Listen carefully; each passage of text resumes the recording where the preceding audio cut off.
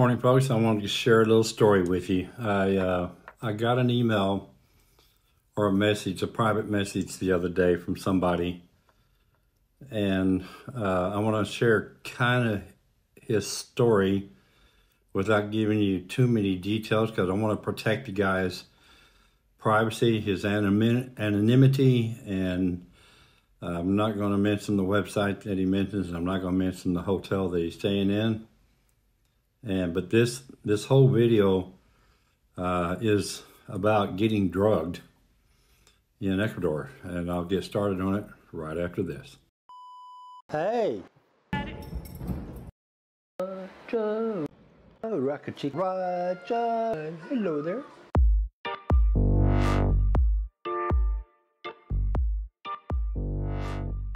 So I got this message from my friend. He said, Hola, on my last trip to Manta, I booked a room on this website.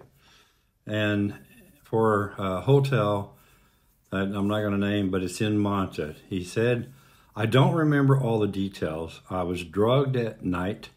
Yes, I had a couple beers. I don't remember anything days before and after. I was kicked out of the hotel. They took all my money and my cell phone and they called the police. The only thing I had was a card from some friends who had a pizza shop and they came help me get cash to pay the hotel $40 after they robbed me. He said, had no cell phone, lost all of his contacts on his phone. I was F-CKED. You know what that means. You and I both know what that means. Uh, but they said, uh, no, no.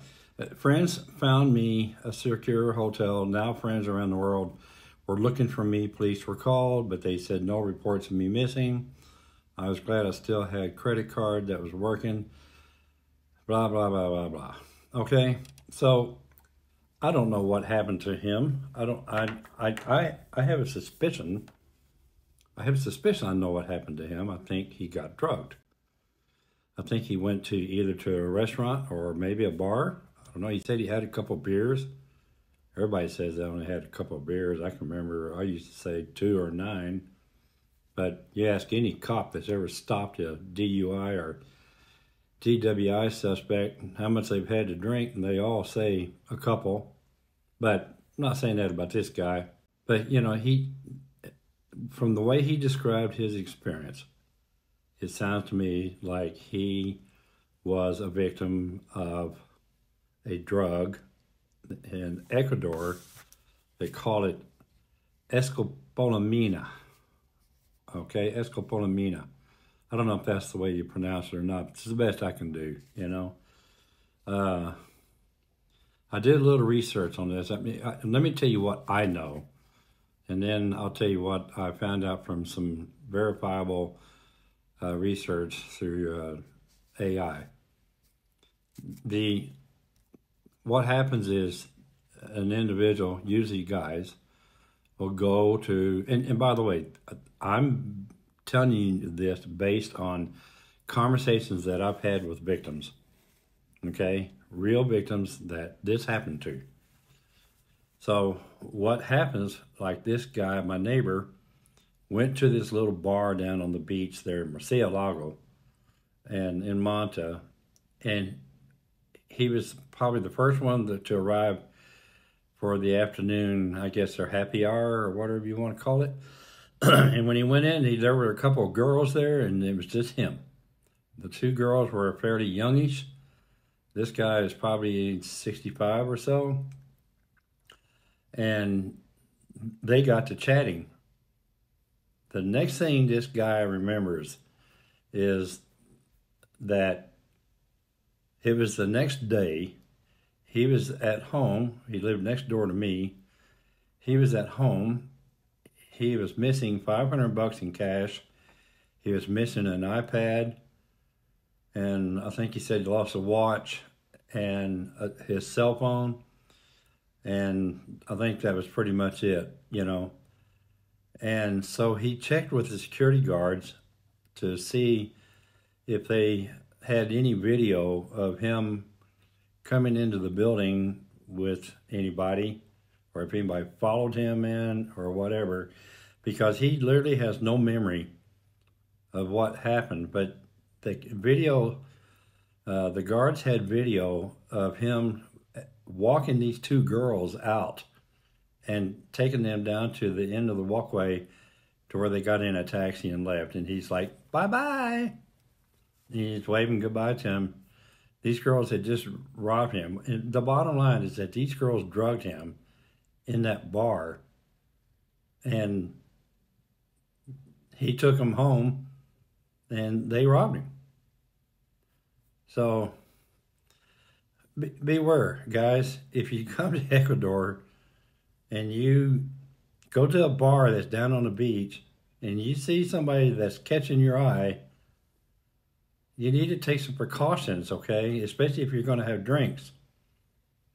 You know, if you have a drink, keep it in your hand at all times. Keep your eyes on it at all times. Especially if you're sitting down or if you've asked somebody to join you, okay, or you go join somebody else. You know, you want to keep an eye on that drink because the way the drug works is it gets put in your drink and it can take 15 to 30 minutes before it takes effect and then you're totally subservient. Okay? I did a little research on this. I'm going to tell you what i found out about this. Uh, i had to pull it up here right quick. Uh, I, I did a little search on ai and i said what is the drug that's most common in South America that makes people subservient? And here's the answer I got. I, in South America, a notorious drug known as scopolamine, scopolamine, here it is spelled right here, scopolamine, has gained infamy. It is often referred to as devil's breath due to its potent effects. Here are some key points about this mind-altering substance. Scopolamine, and they put another name here, Bur Bur Burundanga, B-U-R-A-N-D-A-N-G-A. The source of it is derived from nightshade plants. The effects of it, when administered, can be removed, can remove a person's free will, rendering them highly susceptible to suggestion. Common use is criminals in Colombia and Ecuador have been known to use scopolamine to assault victims or rob them urban myths. There are countless stories about scopolamine, but it's challenging to separate urban myths from genuine cases. Danger level. It has been described as the most dangerous drug in the world. How it works. Scopolamine can induce extreme relaxation, dry mouth, and constricted pupils. Victims under its influence may become immobilized, lose consciousness, or experience hallucinations. The drug's effects start within 15 to 30 minutes and can last several hours. Controversy and skepticism. Some experts doubt the validity of certain scare stories uh, related to scopolamine. Toxicologists question whether it's genuine genuinely responsible for the alleged zombification of victims. You turn into a zombie. There is no evidence that it is being widely used in Europe. Obtaining scopolamine is difficult and it is not a drug that people seek out for pleasure. In summary, scopolamine's reputation as a mind control drug has fueled both fear and fascination, but its actual prevalence and impact remains subject of lots of debate. I'm going to put that in the description along with the sources for all my information. And the other piece of information that I got uh, that I'd like to share with you. Um, here are some things, general safety tips, okay, uh, related to this situation. Number one, stay vigilant. Be aware of your surroundings and the people you're with. Trust your instincts. If something doesn't feel right, it probably isn't.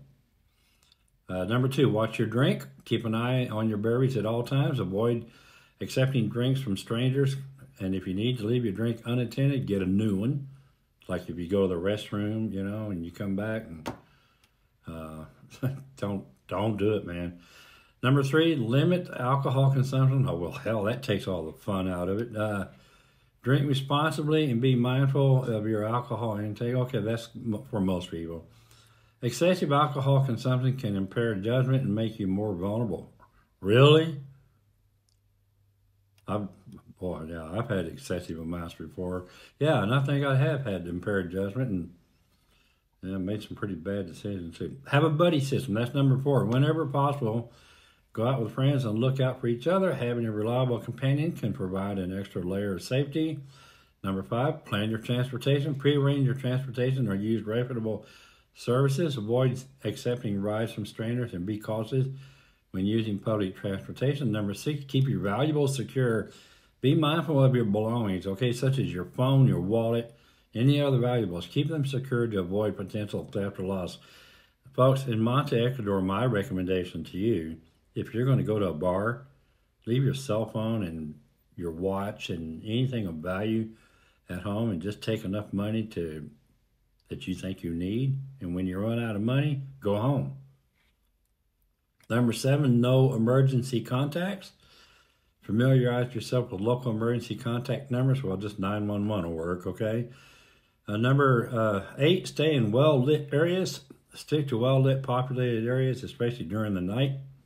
Avoid isolated or poorly lit places to reduce the risk of encountering potential dangers. I don't go. I don't recommend going out anywhere in Manta at night, uh, unless you're in a taxi and you're with other people. But you know, you single guys that come down here and want to go party, uh, don't think that you're just because you're maybe you're big and tough and all that, and um, nobody's going to bother you. But that's not. I don't recommend it. Number nine, trust your intuition. I call that my gut feeling.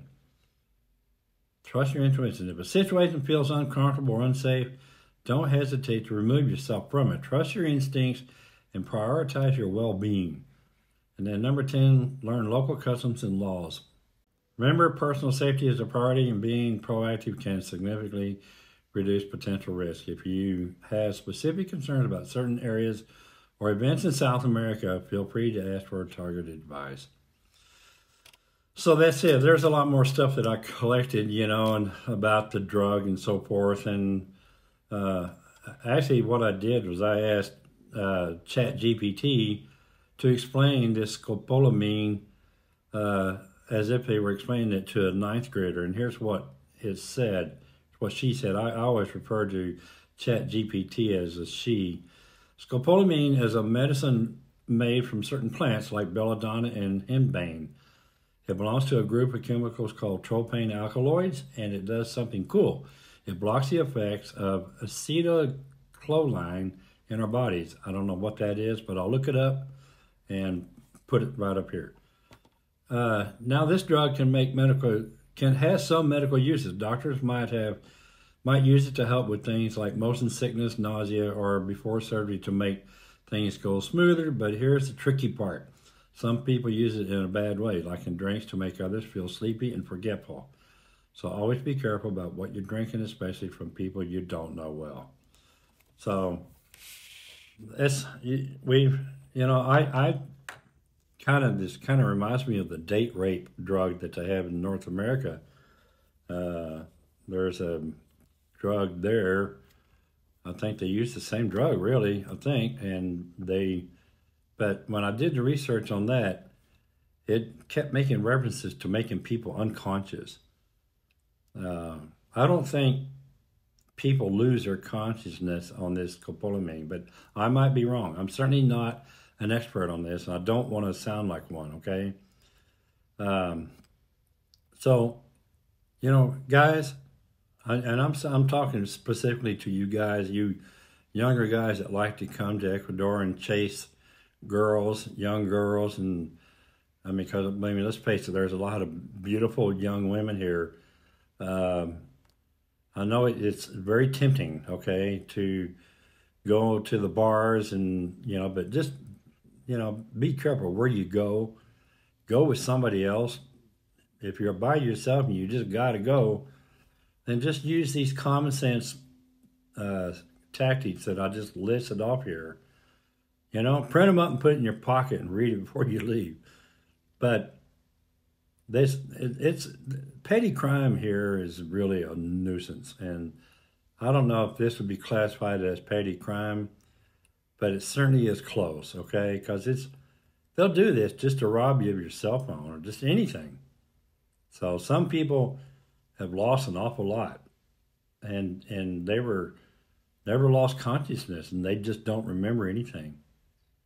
So that's what I got to say about it. That's all I have to say about it. I just wanted to, uh, I, I'm not saying that my friend that wrote this note to me, I'm not saying that he, you know, went to a bar chasing young girls and looking for, you know, some action. But the, the I, I brought him up because the symptoms that he described are perfect for what happens when you get drugged by this scopolamine. Okay, that's it. Thanks for uh, watching this channel. Thanks for subscribing. It helps a lot. If you like this video, smash that thumbs up button. If you didn't like it, bite me. And I say that with peace and love. I'll see you in the next one. Ciao, ciao.